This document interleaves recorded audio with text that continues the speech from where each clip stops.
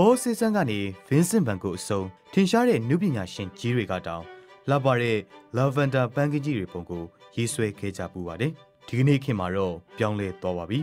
လူတွေက mobile phone တစ်လုံးနဲ့တင်မှတ်တမ်းတင်နေကြတာပါ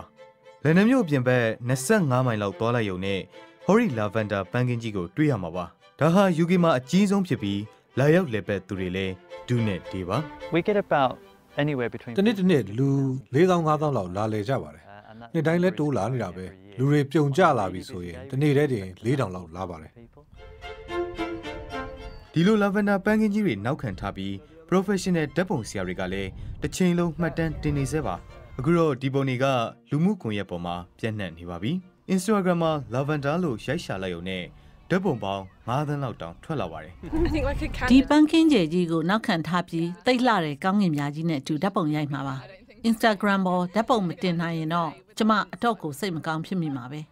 ဒါပေမဲ့တစ်ဖက်မှာလည်းစိုးကျိုးတွေရှိနေပါတယ်လာလေသူတွေကပန်းကင်းတွေကိုဖျက်ဆီးခဲ့တာအမိုက်တရက်တွေခြံခဲ့တာမျိုးလည်းရှိပါတယ်ဒါပေမဲ့ဒီပန်းကင်းမှာတော့လေပတ်သူဥယေများလာတာနဲ့မျှလက်မှတ်ခပိုရပြီးဝင်ငွေလဲတိုးလာပါတယ် realistically we don't need to advertise လာလဲလူတွေကလူမှုကွန်ရက်ပေါ်တင်ကြတော့ကျွန်တော်တို့ကကြော်ညာစရာတော့မလိုတော့ဘူးအဆင်ပြေတာပေါ့ဗျာ Wonderful. ။